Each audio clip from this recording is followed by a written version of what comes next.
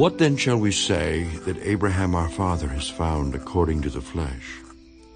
For if Abraham was justified by works, he has something to boast about, but not before God. For what does the Scripture say? Abraham believed God, and it was accounted to him for righteousness.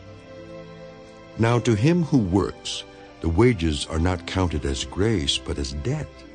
But to him who does not work, but believes on him who justifies the ungodly, his faith is accounted for righteousness, just as David also describes the blessedness of the man to whom God imputes righteousness apart from works. Blessed are those whose lawless deeds are forgiven, and whose sins are covered. Blessed is the man to whom the Lord shall not impute sin. Does this blessedness then come upon the circumcised only, or upon the uncircumcised also? For we say that faith was accounted to Abraham for righteousness. How then was it accounted? While he was circumcised or uncircumcised?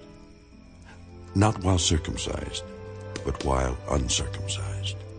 And he received the sign of circumcision, a seal of the righteousness of the faith which he had, while still uncircumcised that he might be the father of all those who believe, though they are uncircumcised, that righteousness might be imputed to them also, and the father of circumcision to those who not only are of the circumcision, but who also walk in the steps of the faith which our father Abraham had while still uncircumcised.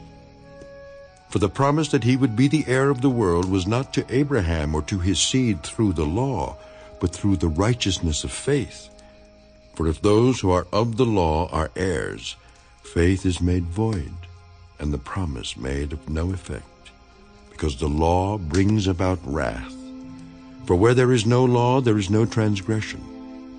Therefore it is of faith that it might be according to grace, so that the promise might be sure to all the seed, not only to those who are of the law, but also to those who are of the faith of Abraham, who is the father of us all.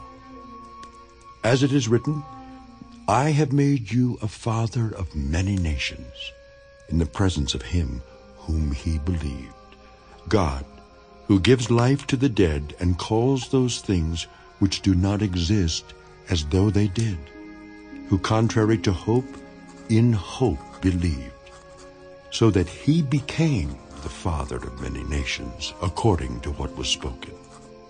So shall your descendants be.